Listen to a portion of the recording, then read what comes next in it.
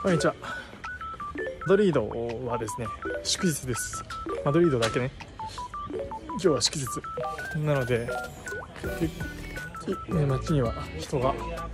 いないというか、もうこのこんな感じでお店も閉まってたり、あちこちのお店が閉まってる感じですね。だから人もあんまり出歩いてません。何の祝日だかわかんないけど、お店は閉まってます、今日は。まあ、一昨日かな、えー監督と、えーセカンドのコーチとね話して自分に集中してサッカーしようっていうね、えー話はもらいましたし、えー個人としてももうチームがどうとか誰がどうとかもう正直あんまり気にしてないし、えーもちろん監督の評価も大事だけど監督の求めることもななんとなくこう理解しながらも、え自分の感覚っていうのもね大事にしながらプレーしようとは思ってます、まあ、それがね、えー、如実に感じれるような練習もありましたし昨日の中には、まあ、そこオーバーラップとかする必要ないでしょうとか、えー前にすごくスペースがあるのに、えーまあ、オーバーラップしたら結局意味ないよね。で実際にこんなに、え試合中、えハーフコートで3対2っていう局面ってありえなくないとか。自分は自分の中でうまく解釈変えてやって、まあ、まあまず監督の求めることだからね。それをまず遂行しなきゃいけないし、まあ、自分の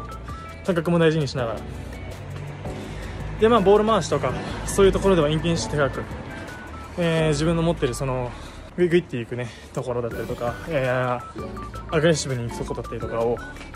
まあ、全面的に、えー発揮できたかなとは思います、まあ、監督はなんかそこは落ちてるっていう判断もされてるしえーもう一回自分の中でもそこを取り戻してそこが一番自分は人としてこういう選手っていうのをまず示すためにもねあ言葉では言ってましたけど練習から、えーアグレッシブにやってももし削っちゃったら削った後にね、えーごめんと申し訳ないって言えばいいだけだからもうしっかりと自分自身で矢印に向けて